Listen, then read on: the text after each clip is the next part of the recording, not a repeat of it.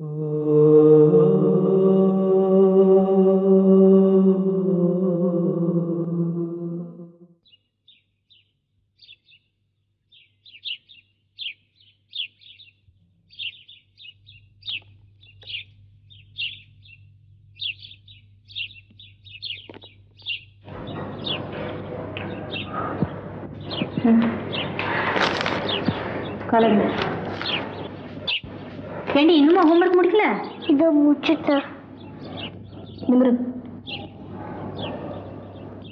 இன்னைக்கு ஆஸ்பத்திரில இருந்து குழந்தைய டிஸ்சார்ஜ் பண்ணோம். ஞாபகம் இருக்குல்ல? சாயந்தரம் தானே? நீங்க ஒரு நாளுக்குலாம் இங்க இருந்தீங்கன்னா சரியா இருக்கும். அது ஒன்றும் ப்ராப்ளம் இல்லை. பர்மிஷன் போட்டுக்கலாம் நாலு இல்லை. மூன்றைக்கெல்லாம் வந்துடுறேன். நேற்று கவுண்டர்ல விசாரிச்சேன் ஆஸ்பத்திரி பில்லே கிட்டத்தட்ட ஒரு ஆயிரத்தி ஐநூறுரூவா வருமா? அப்புறம் போற வர ஆட்டோ செலவு குழந்தைய பார்த்துக்கிட்ட வாடாயா நர்ஸு இவங்களுக்குலாம் ஏதாவது கொடுக்கணும்ல? எப்படி பார்த்தாலும் ஒரு ஆயிரத்தி எழுநூறுபா வந்துடும் கொண்டாந்துருவீங்கல்ல? சரி உங்ககிட்ட எவ்வளோ பணம் இருக்கு? ஏங்கிட்ட ஒரு முந்நூறுரூவா இருக்கு. அதையும் பிடிங்கிட்டீங்கன்னா இந்த மாசம் கடைசி வரைக்கும் நான் என்ன பண்றது? ஆயிரத்தி எழுநூறுபா தானே? சரி விடு நான் பார்த்துக்கிறேன் திரும்பி பாரு. ஆமா உங்க பிராண சிநேகிதன். அந்த பேர் என்ன? யாரு? சுப்பிராம் ரெட்டியா? ஆ சுப்புராம ரெட்டி. ஏதோ அர்ஜென்ட்டா கேட்டாருன்னு போன மாசம் ஒரு ஐநூறுரூவா எடுத்து கடாசுனீங்களே கொடுத்துட்டாரா? இல்லை. நினைச்சேன். ஏங்க கொடுத்த கடனை கேட்டா தானே திருப்பி தருவாங்க? சரி விடு. அதுக்கு என்ன இப்போ? சாயங்காலம் வரப்ப நான் பணத்தோட வரணும். அவ்வளோதானே அதுக்கு ஏன் காலங்காத்தால உட்காந்து தோண தோணுத்துட்டு இருக்க. ஆமா. இப்பெல்லாம் நான் என்ன பேசினாலும் உங்களுக்கு தொண தொணப்பு தான் தூங்குறவங்கள எழுப்பிடலாம். தூங்குற மாதிரி நடிக்கிறவங்கள எழுப்ப முடியுமா? இந்த பொண்ணை கொண்டு ஸ்கூல்ல விட்டுட்டு சமையலை முடிச்சுட்டு இந்த வேகாத வயல ஆஸ்பத்திரிக்கு வேற ஓடணும். இப்போ எதுக்கு? அங்க குழந்தைய பார்த்துட்டு உங்க அம்மா இருக்காங்களே அதுவாது ஞாபகம் இருக்கா? நான் அங்க போனா தானே பாவம் அவங்க இங்க வந்து குளிச்சு குளிச்சுட்டு அங்க வர முடியும். Okay okay.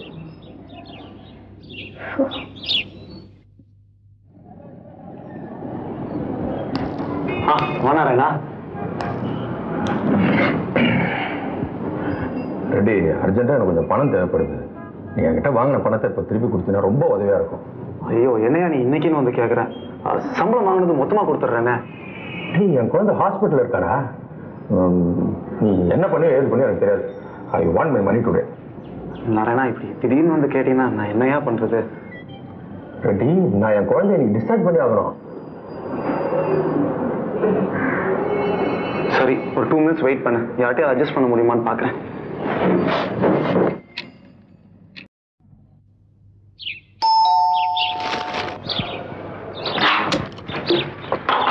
என்னங்க? மூன்றரை மணிக்கெல்லாம் வரதா சொல்லிட்டு மணி நாலே காலாவது இப்ப வரீங்க? பணத்துக்காக ஒருத்தர் பார்க்க போயிருந்தேன். லேட் ஆயிடுச்சு அமௌண்ட் கிடைச்சதா? இல்லைப்பா ஒரு அறுநூறுபா தான் ரெடி பண்ண முடிஞ்சது. என்ன சொல்றீங்க? உங்க சுப்ராம ரெட்டி உங்களுக்கு ஐநூறு ரூபாய் கொடுக்கணும்ல? ஆ அவன் ஒரு இரநூத்தம்பது ரூபா தான் கொடுத்தான். மீதி அடுத்த மாதம் தரேன்ட்டான். அறுநூறு ரூபாய் கொண்டு வந்திருக்கீங்க. மீதி ஆயிரத்தி நூறு ரூபாய்க்கு நான் எங்க போவேன்? உங்ககிட்ட முந்நூறுரூவா இருக்குன்னு சொன்னல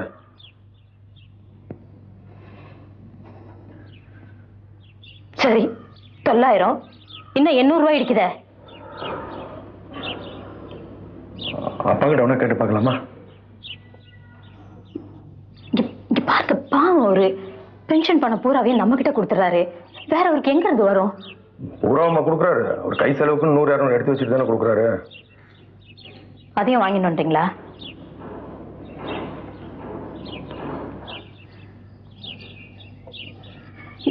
இங்க பாருங்க டைம் ஆயிட்டு இருக்கு இருந்த ரெண்டு வலையிலையும் அடவு கடையில வச்சாச்சு. மீதி பணத்துக்கு என்ன பண்றது? வேணா பக்கத்து வீட்டில் கேட்டு பாருப்பா. சம்பளம் வந்தோன்னு கொடுத்துடலாம். அவகிட்ட முன்னாடி வாங்கின பணத்திலேயே இன்னும் நூறு ரூபாய் பாக்கி இருக்கு. இப்ப மறுபடியும் போய் கேட்டா கொடுப்பாளா? ஆஸ்பத்திரின்னு கேளுப்பா. கொடுப்பா.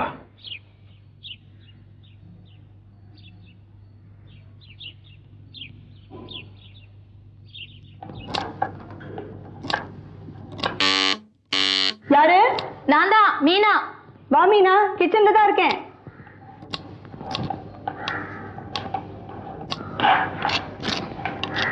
குழந்தைக்கு இப்ப எப்படி இருக்கு? இப்ப பரவாயில்ல. இன்னைக்கே டிஸ்சார்ஜ் பண்ணிடலாம் நாங்க. அப்ப இப்பெல்லாம் நீ ஹாஸ்பிட்டல்ல இருக்கணும். இங்க நின்னுட்டு இருக்க. அங்க பில் செட்டில் பண்ண பணம் கொஞ்சம் குறையுது. அதான் உங்ககிட்ட கேட்கலான்னு. அவருக்கு சம்பளம் வந்ததுமே திருப்பி கொடுத்துட்றேன். என்ன மீனா இது? ரெண்டு மாசத்துக்கு முன்னாடி வாங்கின பணத்தையே நீ இன்னும் முழுசா திருப்பி தரல. மறுபடியும் வந்து கடன்னா எப்படி? தப்புதான். அதையும் சேர்த்து இந்த வாட்டி கொடுத்துட்றேனே. சரி எவ்வளவு வேணும்? ஒரு எண்ணூறுரூவா இருக்குமா? எயிட் ஹண்ட்ரடா? கொஞ்சம் இரு வரேன்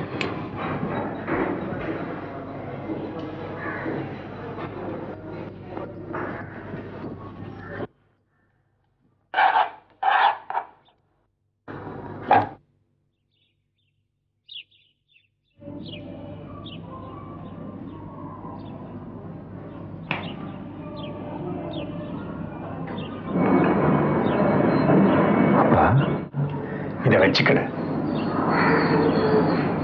எதுக்குப்பா இதெல்லாம் இருக்கட்டுங்க ஹாஸ்பிட்டல் செலவுக்கு வேணும் இல்லை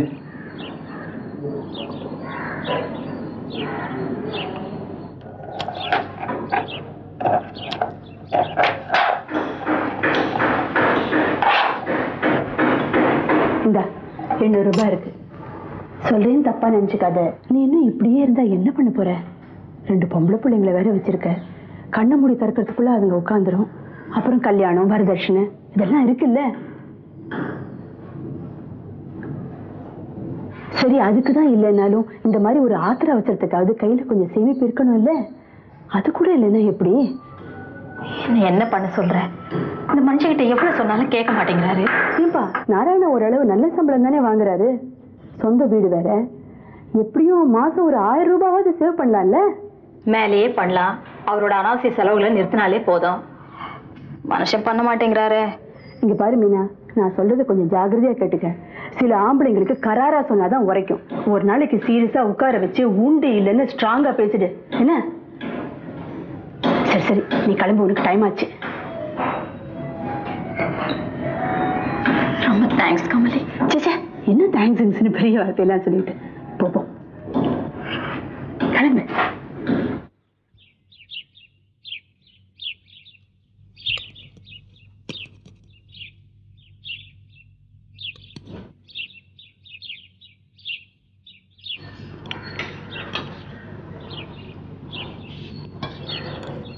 ஏம்மா சட்னி இல்லையா சட்னி கிட்னிலாம் ஒண்ணும் இல்ல. அதான் சாம்பார் ஊத்திருக்கேன்ல. இங்கதான் சாம்பார் பிடிக்காதே. எல்லாம் பிடிக்கும். சாப்பிட்டு எந்திரி. ஏம்மா நீ சட்னி பண்றது இல்லையா? ஏடி நீ என்ன கிண்டலா பண்ற? உனக்கு சட்னி அவளுக்கு சாம்பார். நீங்க நினைச்சு நினைச்சு ஆர்டர் பண்ண நான் என்ன ஹோட்டல்ல நடத்துறேன்? சீக்கிரம் சாப்பிட்டு எந்திரி. ஸ்கூலுக்கு நேரம் ஆகுது இல்ல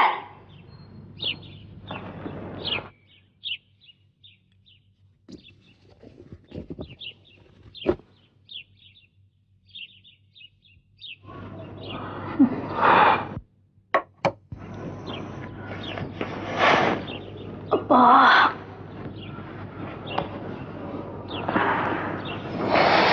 ஏன்பா எடுத்ததுக்கெல்லாம் குழந்தைங்களை திட்டுற. இங்க பாருங்க நமக்கு ரெண்டு பொட்ட பிள்ளைங்க. இன்னைக்கு கேட்கறதெல்லாம் கொடுத்து பழகிட்டோம்னா நாளைக்கு அவளுக்கு தான் கஷ்டப்படுவாளுங்க. அவ அப்படி என்ன கேட்டா? நீ சாம்பார் ஊத்துன சட்னி இல்லையாமான்னு கேட்டா இது ஒரு தப்பா? இருந்தா ஊத்திருக்க மாட்டேன். என்ன பேசுறீங்க? இல்லப்பா அவளுக்கு சாம்பார்னா பிடிக்காது சட்னி தான் பிடிக்கும் கேட்டா. அது ஒரு டேஸ்ட் ஏன் அவளுக்குன்னு ஒரு இண்டிவிஜுவாலிட்டி இருக்கக்கூடாதா? தொடலங்க இண்டிவிஜுவாலிட்டி ஆறு வயசுலயே சுதந்திரம் தனித்துவம் அது இதுன்னு பொட்ட பிள்ளைங்க மனசுல வளர்த்து விட்டீங்கன்னா நீங்க ஆம்பளைங்களா சேர்ந்து அதை கடைசி வரைக்கும் காப்பாத்தணும். பண்ணுவீங்களா? நடக்கிற காரியமா பேசுங்க. ஒரு பொண்ணோட சுயம்புவியும் சுதந்திரத்தையும் ஆபீஸுங்களை மதிக்கிறீங்களா? இல்ல அவ உங்களுக்கு பொண்டாட்டியா வரப்போ இதெல்லாம் அனுமதிக்கிறீங்களா? ஆம்பளைங்க உங்களால அதெல்லாம் முடியறது இல்லைல்ல அப்புறம் எதுக்கு இதெல்லாம் எங்களுக்கு சொல்லி கொடுக்குறீங்க? இந்த மாதிரி நீ ரொம்ப நெகட்டிவா பேசுற. நான் நெகட்டிவ் எல்லாம் பேசல. ஆம்பளைங்க நீங்க எங்களுக்குன்னே சில சட்டத்திட்டம்லாம் வச்சிருக்கீங்க பாருங்க. அதெல்லாம் தூக்கி முதல்ல குப்பை தொட்டியில போடுங்க. அதுக்கப்புறம் எங்களுக்கான சுயம்பு சுதந்திரம் இதெல்லாம் நாங்களே பாத்துக்கிறோம் ஏன்பா எதை பத்தி பேசினாலும் அது ஒரு பட்டிமன்றம் ஆக்கிற என்ன பண்றது? எங்க உரிமைகள்லாம் உங்ககிட்ட சண்டை போட்டு தானே வாங்க வேண்டியிருக்கு? ஆம்பளைங்க நீங்கெல்லாம் என்ன தெரியுமா? நம்ம நாட்டுல இருந்து வெளியேற்றிட்டதா சொல்றோமே வெள்ளைக்காரனுங்க. அவனுங்களோட கருத்து அவதாரம் தான் நீங்க. அவனுங்க இன்னும் வெளியேறல. இதோ இருக்கீங்களா? சும்மா சொல்லக்கூடாது. நீ ரொம்ப நல்லா பேசுற. காலேஜ் பேச்சு போட்டு எல்லாத்துலயும் ஃபர்ஸ்ட் பிரைஸ் வாங்கிருக்கணுமே சரி விடுங்க. அதெல்லாம் இப்ப எதுக்கு? அந்த வயசுல ஆயிரம் கனவுகள். அப்புறம் இந்த மாதம் மளிகை சாமான் வாங்கணும் ஒரு ஐநூறுரூவா வேணுமே. சாயந்தரமா தரேன். அண்ணே இந்த லிஸ்ட்ல இருக்க எல்லாம் போட்டு வீட்டுக்கு அனுப்பிடுங்க. இதுல ஒரு முந்நூற்றி ஐம்பது ரூபா இருக்கு. என்னம்மா வெறும் முந்நூற்றம்பது மட்டும் தர்றீங்க? பழைய வாய் கொஞ்சம் இருக்குல்ல. தந்துடுறேன். எல்லாம் சேர்த்து அடுத்த மாதம் தந்துடுறேன். சரிம்மா நீங்க போங்க. நான் இதெல்லாம் போட்டு அனுப்பிச்சிடுறேன்.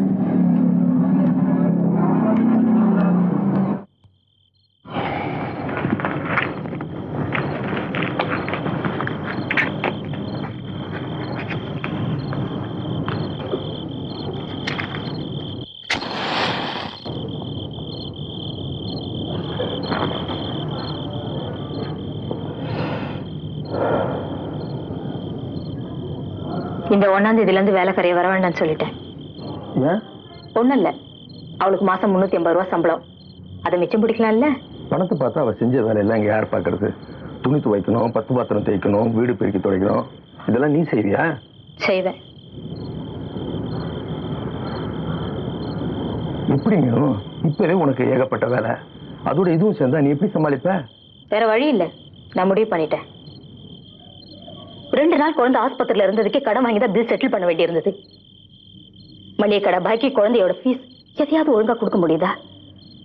ஒவ்வொரு வாட்டி கடன் வாங்கி தான் சமாளிக்க வேண்டியிருக்கு. நமக்கு ரெண்டு பேர் பொட்ட பசங்க. ஞாபகம் இருக்குல்ல? நீங்க டை போட ஆரம்பிக்கிறதுக்குள்ள அதுங்களுக்கு கல்யாண வயசு வந்துடும் என்ன பண்ண போறீங்க? ரெண்டு பொண்ணுங்களுக்கும் கல்யாணம் பண்ணி வைக்கிறதுக்கு என்ன செலவாகுங்கிறத பத்தி ஏதாவது ஒரு ஐடியா இருக்கா? அதை பத்தி என்னைக்காவது யோசனை பண்ணி பார்த்துருக்கீங்களா? என் வாயால சொல்லக்கூடாது. நாளைக்கு உங்களுக்கு உடம்புக்கு ஏதாவது வந்து ரெண்டு ஒரு மாசம் படுத்துட்டீங்கன்னு வைங்க. நாங்க எதை வச்சு சாப்பிடுவோம்? நானும் கல்யாணம் ஆன நாள்ல இருந்து நம்ம குடும்ப நிலைமையை பத்தி உங்ககிட்ட சொல்லிட்டு தான் வரேன். எட்டு வருஷம் ஆச்சு. இன்னைய வரைக்கும் அது எருமாட்டில் பெஞ்ச மழை தான் சரி மற்ற விஷயங்களை விடுங்க. கேவலம் இந்த சிகரெட்டை நிறுத்த சொல்லி நான் எத்தனை வாட்டி உங்ககிட்ட தலைப்பட அடிச்சிட்டு இருக்கேன்? அது கூட உங்களால முடியாது. இங்க பாருங்க நான் பேசுறதை நீங்க சீரியஸா கேட்கணும். சொல்லு. கேட்டுட்டு இருக்கேன். உங்க பாக்கெட்ல எத்தனை சிகரெட் இருக்கு? எத்தனை சிகரெட் இருக்கு?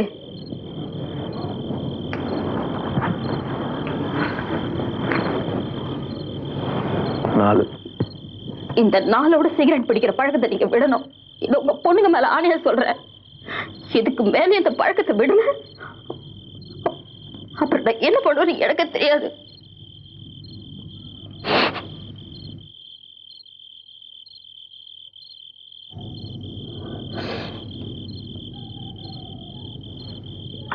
அப்புறம் இந்த பத்திரிக்கை வாங்குறது?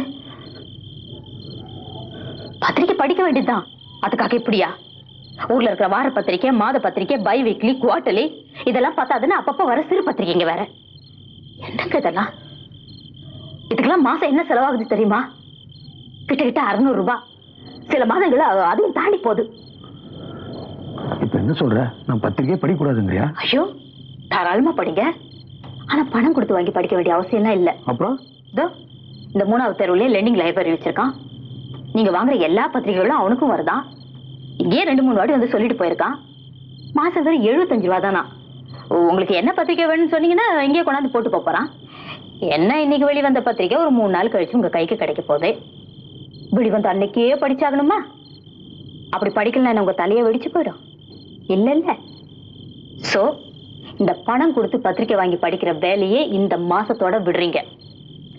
நாட்டு நடப்பு தெரிஞ்சுக்கணும்னா ஏதோ ஒரு டெய்லி பேப்பர் அது போதும். சிகரெட்ல ஒரு ஐநூறு ரூபாய் பத்திரிக்கையில ஒரு அறுநூறு ரூபாய் கூட்டி பாருங்க. மாசம் சொல்லையா ஆயிரத்தி நூறு ரூபாய் நிக்கும்ல. என்ன? உங்களால அது முடியுமா? இன்னும் நீ சொல்றதுதான் கரெக்டு எல்லாமே புரியுது.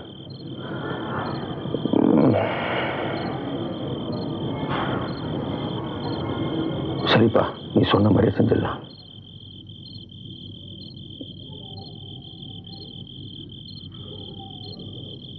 சந்தோஷங்க.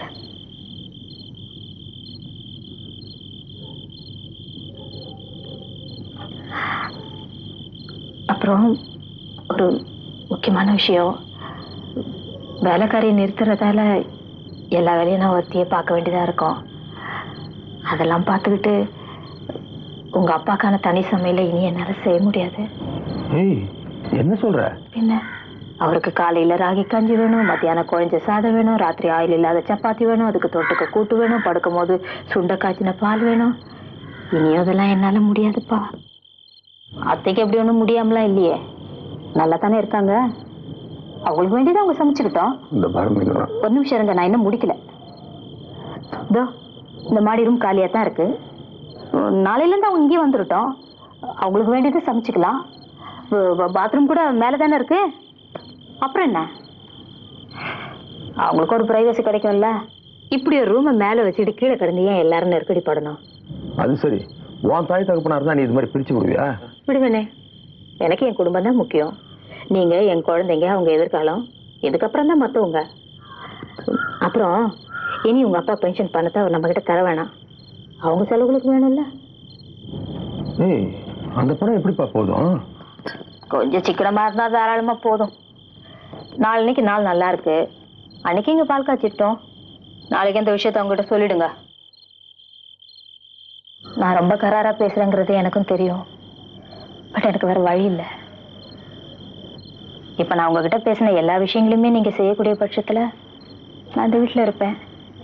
இல்ல என் குழந்தைங்களை கூட்டிட்டு எங்க அம்மா வீட்டுக்கு போயிடுவேன். சத்தியமா சொல்றேன். நீங்க எல்லாமே என் குழந்தைங்களை வளர்க்க முடியும் படிக்க வைக்க முடியும் கல்யாணமும் பண்ணி கொடுக்க முடியும். ரோட்ல துண்டை விரிச்சு பிச்சை எடுத்தாலும் இதை நான் செஞ்சு காட்டுவேன். இனி நான் என்ன செய்யணுங்கிறது உங்க கையில தான் இருக்கு. புரியுதா? ஏண்டா? என்னமோ தனியா பேசணும்னு சொல்லி மேலே கூட்டிட்டு வந்த? அப்புறம் தயங்கி தயங்கி உட்காந்துட்டு இருக்க? சொல்லு என்ன விஷயம்? ஒண்ணுமில்ல. லக்ஷ்மியோட ஆஸ்பத்திரி செலவுக்கே பணம் இல்லாம போனதுல இருந்து இவ ரொம்ப குழம்பி போயிருக்கா. வெறும் ஆயிரத்தி எழுநூறு ரூபாய்.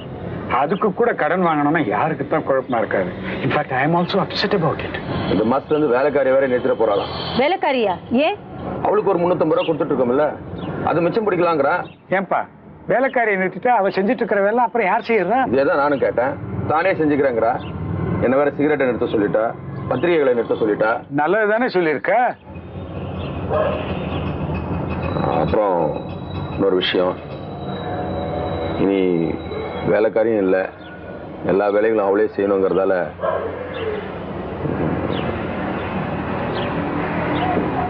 உங்க ரெண்டு பேரையும் இங்க நம்ம மாடி ரூமுக்கே வந்துட சொல்றா.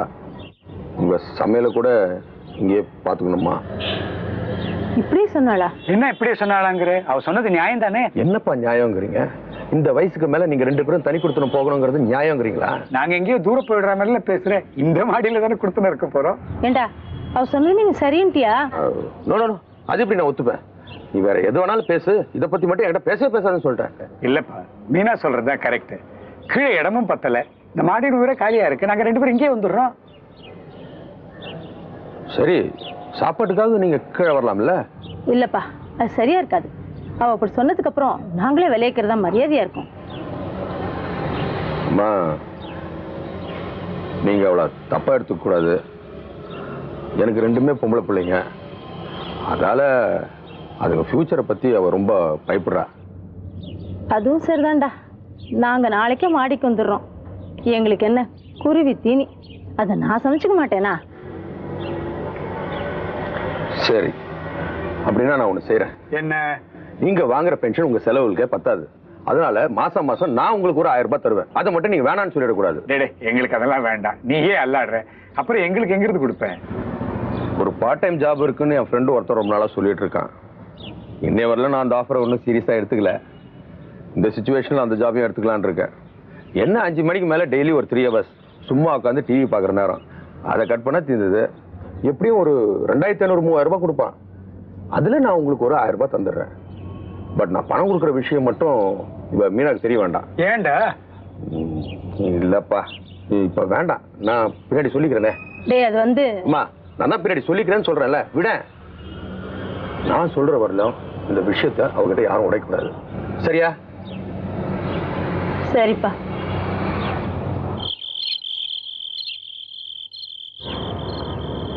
அப்பாட்ட சொல்லிட்டீங்களா?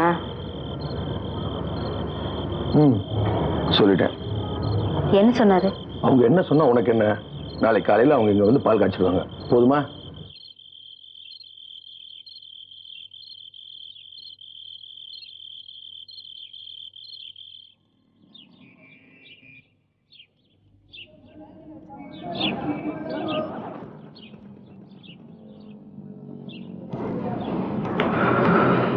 முஸ்தபா என்ன சாக்லேட்லாம் கொடுக்குற? என்ன விஷயம்? ஒன்றும் இல்லை. அவசரமாக ஒரு ஐநூறுவா தேவைப்படுது. கிடைக்குமா? வேற. எனக்கு இப்போ ரெண்டு குடும்பம்யா என்னப்பா சொல்ற? உனக்கு ஒரு சின்ன வீடா? என்னால் நம்பவே முடியல அரஞ்சனா பாரு. நீ தானப்பா சொன்ன? ரெண்டு வீடுன்னு ரெண்டு வீடுனா? சின்ன வீடு தானே அது? அப்புறம்? எங்க அப்பா அம்மா இப்போ என் கூட இல்லை. தனியா இருக்காங்க. அப்படியா? ம். அவங்க வீட்டு செலவும் சேர்த்து நான் தான் பார்த்துக்கிறேன் ஓ அதான் ராவன் பைனான்ஸ்ல பார்ட் டைம் ஜாப் பண்றியா? ஆமாப்பா. தப்பா நினச்சிக்காத. இனி என்கிட்ட கால்லாம் தேராது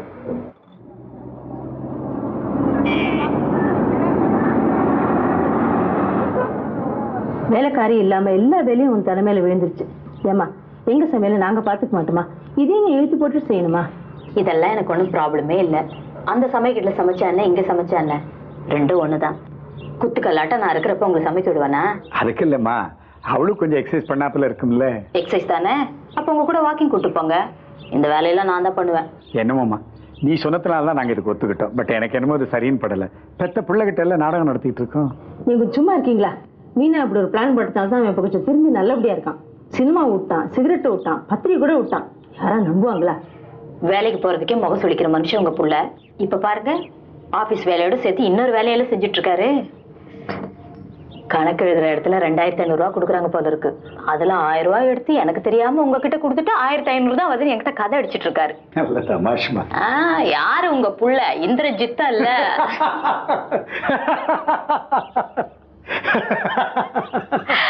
அப்புறம் அவர் எனக்கு தெரியாம உங்களுக்கு கொடுக்குற ஆயிரம் ரூபாயை நீங்க அவருக்கு தெரியாம என்கிட்ட கொடுக்குறீங்க. நான் அதை அவருக்கு தெரியாம என் புது அக்கௌண்ட்ல போட்டு வரேன். அப்புறம் அவர் கொடுக்குற பணத்தை மிச்சம் பிடிச்சி அந்த அமௌண்ட்டையும் சேர்த்து இந்த அஞ்சே மாசத்துல பேங்க்ல பன்னெண்டாயிரம் ரூபாய்க்கு மேல இருக்கத்த அப்படியா? ஆ. நல்ல காரியம் செஞ்ச நீ நீ மட்டும் இந்த பிளான் போடலைன்னா அவன் இந்த ஜென்மத்துல திருந்திருக்கவே மாட்டான்.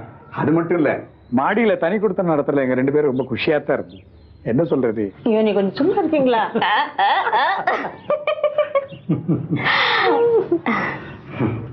எனக்கு தான் சில சமயங்கள் அவரை பார்க்கும்போது மனசு ஐயோன்னு இருக்கு.